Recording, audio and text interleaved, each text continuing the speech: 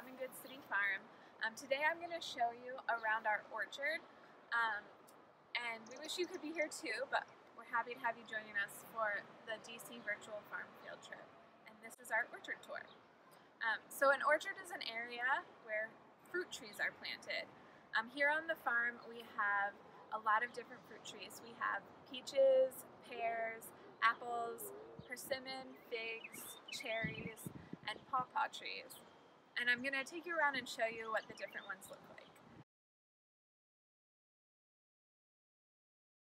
Our most recently planted tree is actually right here next to me. So it doesn't look like a tall tree yet, but this is our persimmon. So it takes a few years after a, a young tree like this is planted before it will make fruit. Um, but we're excited to have it. You can see that you can see the shape of the leaves are kind of like a long teardrop. Um, and then it has a pretty smooth bark, but with some speckles on it.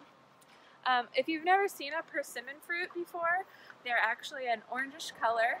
Um, they're kind of round and tomato shaped, um, and they have a really nice sweet taste. They kind of have a bit of flavor of honey depending on the variety, um, and they're really great in jams or jellies. So in a few years, we're excited to have persimmons to harvest um, and use for projects like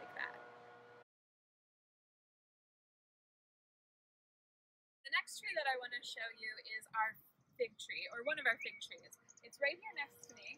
As you can see, uh, it's a lot bigger than the persimmon tree, and that's just because it's been here on the farm for a lot longer.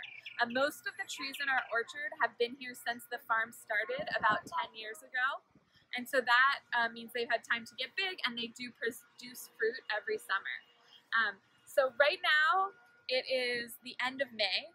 Um, so our fruit trees have already gone through their flowering stages um, and a lot of them have started to produce fruit, but it's showing up as small fruit so far. Um, I'm not sure if we'll spot any on the fig tree because the figs usually come a bit later in the summer. Um, but what you can see about this tree is that it has these really cool shaped leaves. It almost makes me think of something like you would see with pictures of dinosaurs or something. They're like bigger than my hand, um, and they have a few different um, shapes. Um, some of them have bigger indents than others here. Some of them are a little more rounded, but they're all these nice big leaves, and they just cover the whole area, provide a lot of shade. Um, figs themselves are actually a pretty small fruit if you haven't seen them before. They grow just about like this big. Um, the figs in this tree uh, start out green and then they'll turn sort of shades of yellow and purple and that's how we know they're ripe. They have a really intense sweetness and the birds really love them too. So when we do have figs on the tree, it's important to check that they're getting ripe and make sure we harvest them before the birds um, stick their beaks in there to eat them. Now I'm going to show you one of our um, really popular fruit trees that we have here on the farm. We have couple peach trees. Um, so this is our peach tree. Um, you can recognize that it's a peach because it has these really long, skinny leaves. Um, and it formed its flowers in the early spring, and those flowers have already transitioned into little tiny baby peaches that you can see. So you can see that they are um, already fuzzy like you might be used to seeing peaches, but they're small and green right now. Um, so as they keep developing, they're gonna get a little more color, um, they're gonna get bigger. They're also rock hard right now, and so when they're ready later this summer, that's when they'll start to soften and be those ripe, delicious peaches that are sweet and ready to eat. Um, these are definitely a really popular item at our farmer's market. Um, you can also see along with the um, long skinny leaves, it has a nice gray bark. It has a little bit of texture to it, um, but is still kind of smooth, um, but with little markings on it that go around the branches.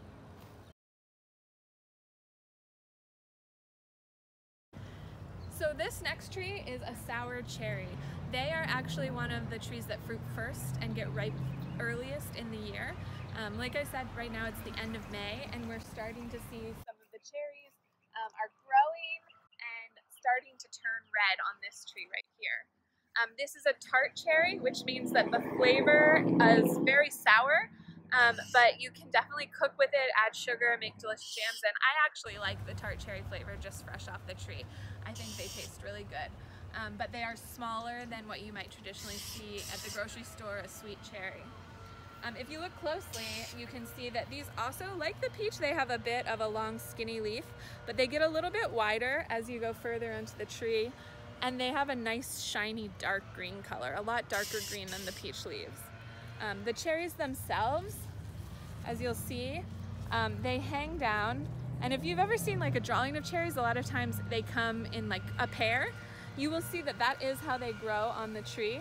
There's little um, pairings of cherries throughout where two stems come down together um, and those will turn right, red and ripen.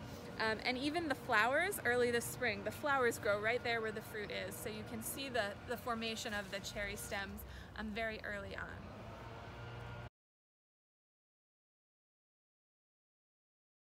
All right, I'm standing here now kind of under a lot of trees, but we're gonna look at this one right here next to me. This is one of our apple trees. Um, and so the apple uh, tree has uh, a rounder but still pointy green leaf, and the leaves sometimes get a little bit more of a whitish uh, fuzziness to them, but dark green on the other side. Um, and the bark is pretty smooth on the branches, but is a little bit rougher if you look back at the trunk. Now, apples don't really ripen um, until very late summer, early fall. Definitely people think of them as a late fall um, crop. Um, but they do start to grow as tiny little apples even now. So if you look closely up here, you will see the start of one of our apples. It kind of has a pointy end at the moment, but as it gets bigger, that uh, pointy part will just sort of absorb into the round apple, and these will be round green apples like you're used to seeing um, at the grocery store.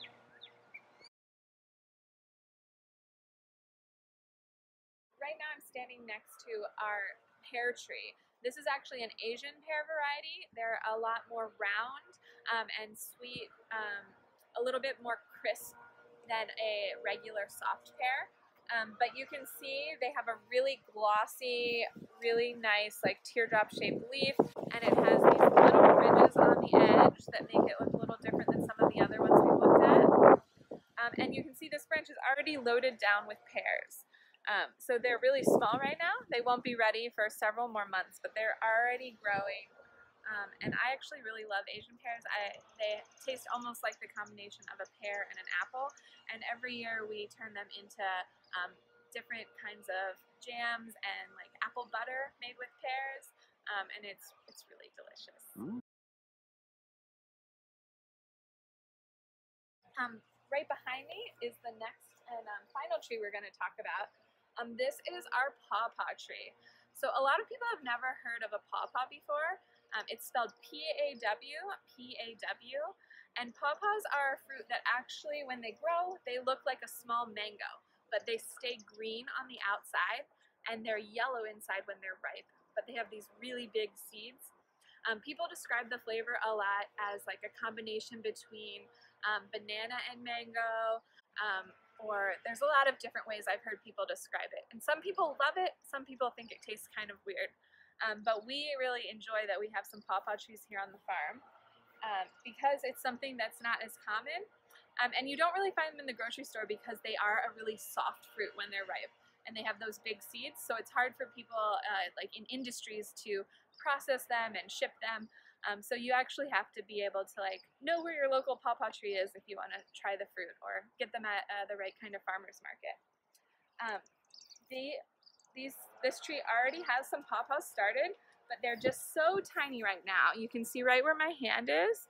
They're just really little, like, they look, I don't even know what they look like, but um, you can see that they've started to grow and they'll be ready when they're about the size of a small mango. Um, these the pawpaw tree has really long leaves and they hang down. Um, you can see if you look at the whole tree how, how much they hang downward. Um, and the branches are pretty thin and a light gray color, um, but with lots of little bumps a, a, really cool thing that unfortunately we can't see because they've already bloomed for the year, but the pawpaw flower also hangs down the way the leaves do, and it's a really deep magenta brown color, really different than other spring flowers that you see. So that's always fun.